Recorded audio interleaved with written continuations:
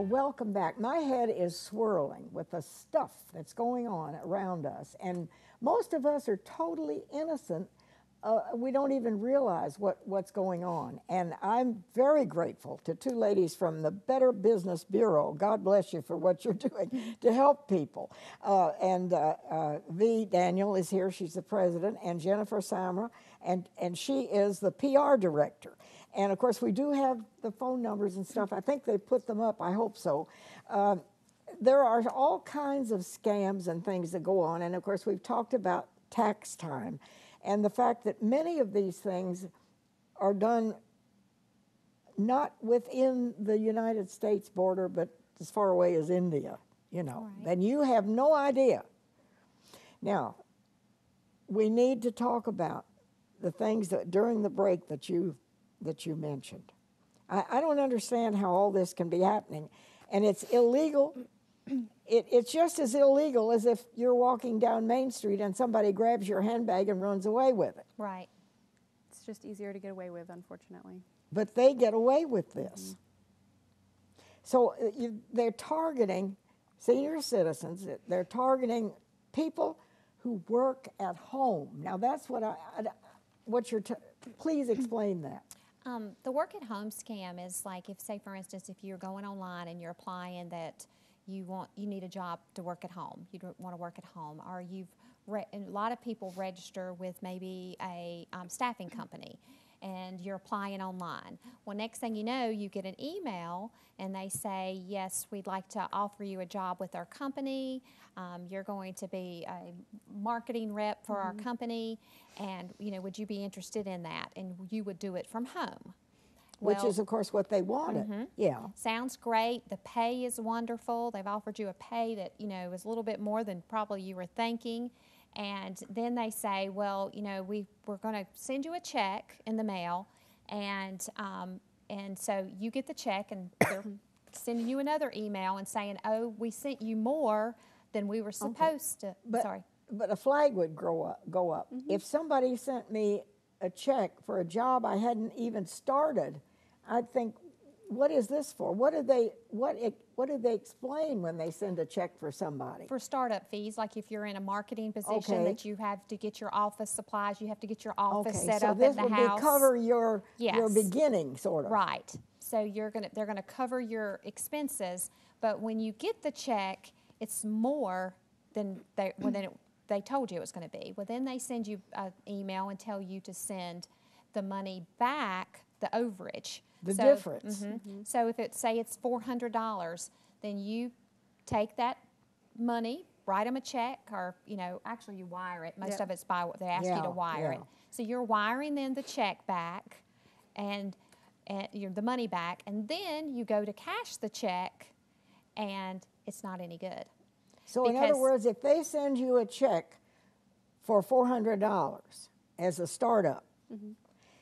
and then you go to cash the check and it's worthless. But in the meantime, they have told you that they made a mistake and, and they only meant to send you 200 right. so you owe them the, the two, for, $200. $200 so in other words then you would send $200 of the $400 back, back to them.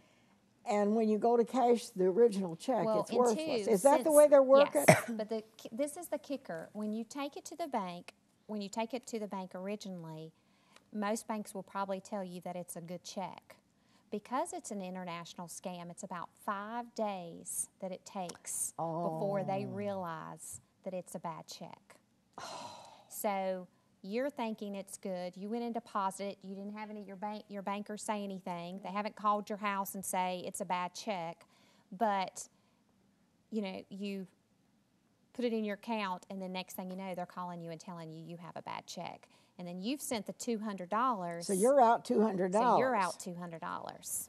So they've made a quick $200. Which is usually devastating for a lot of people because oh. they're already trying to find a job. Right. Yeah. And now they're losing, losing money. money. And there's a lot of this kind of stuff going on. And that yeah. home scam is interesting, always been interesting to mm. me because again we're talking about how did they find these people how did they know they were looking for a job well just be careful where you're posting where you're looking for a job online be careful of any information, personal information that you give out, either on the telephone or email or online or whatever. Right. That is pretty shocking. And these people are clever. They are very clever. And do They're they ever do they ever get caught? Um, actually, they have. There, are, there are some that have been. I know the FTC's cracked down. The Consumer Affairs has cracked down on some. So you know what I mean. It's it with the international scam. It's a lot harder. It's a lot longer, but they work with them. I mean, we're working on a situation now, which we can't say, but we're working with the um, Federal Trade Commission on a on a bit on a business here locally. So to try, you know, I mean, they're just doing some bad things. So you have to work with the proper agencies to be able to do it. The Better Business Bureau, we're not a government agency. No. Um, we're basically, it's a free service to file a complaint or to call about a scam or anything like that, but um, we're not a government agency, we're a nonprofit.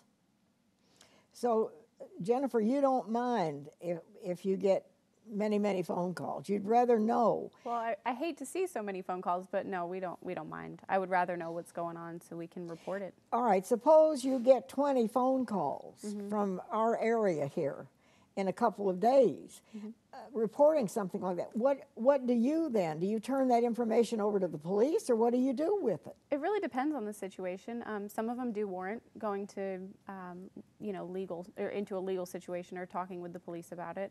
Um, some of them we can just put into press releases and, and spread the word as much as we can. Um, just send it to the local media and hope that they can help us spread the word. So you try to spread the word Oh, that yes. this stuff is going on and people need to take caution. Yes, absolutely.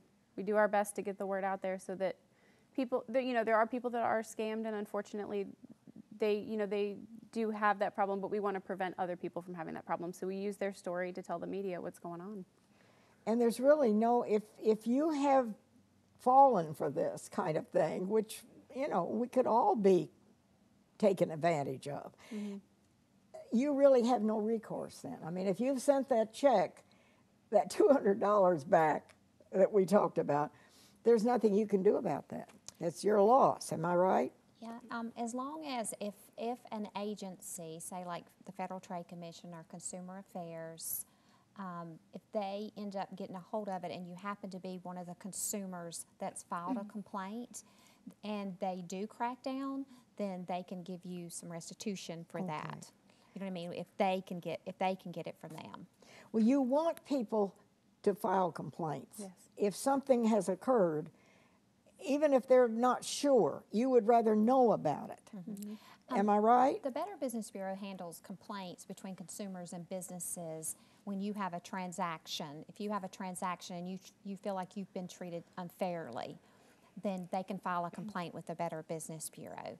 If you're calling just to because you got a phone call and you're not sure if you should be talking to these people, that is more so just picking up the phone and calling us.